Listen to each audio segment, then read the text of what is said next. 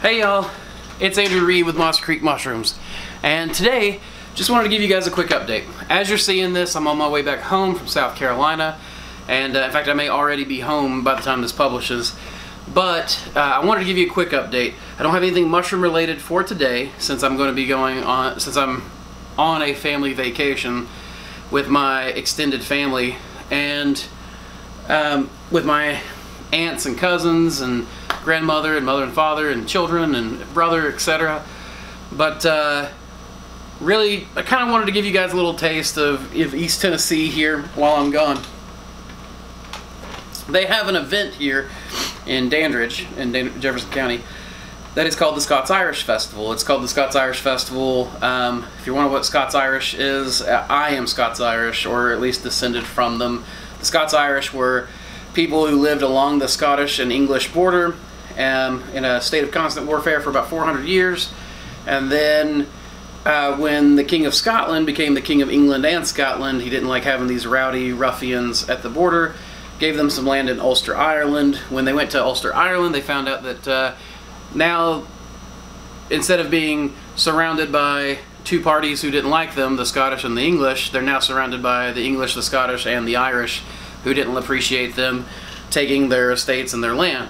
So, when America opens up, people who are now called Ulster Scots at this point end up moving from Ulster, Ireland, and going to America and all over the world. For instance, my last name, Reed, is uh, found uh, pretty much on every continent, other than, I guess, Antarctica, and uh, has a population of people. It's, it's spread pretty hardcore. So, um, they just kind of went everywhere, including the United States.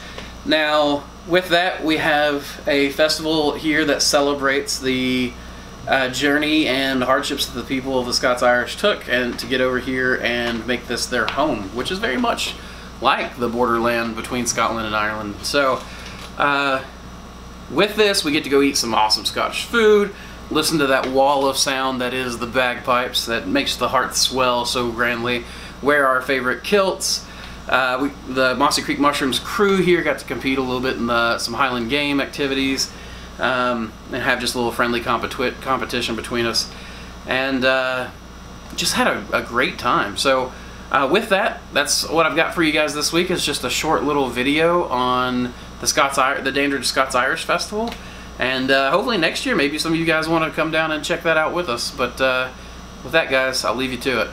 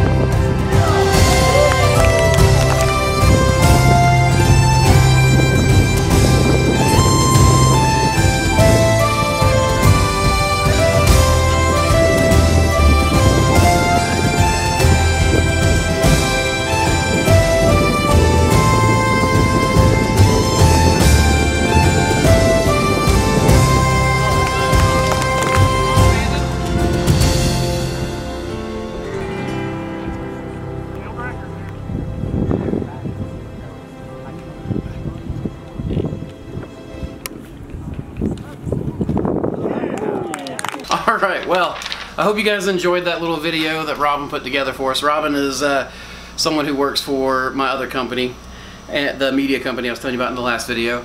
And uh, yeah, I mean, other than that, guys, I don't have much of an update. Like I said, I am either at home or on my way home, and we'll be working on my video from South Carolina very shortly, and should have that up for you guys very soon. Uh, with that, y'all, keep spawning culture.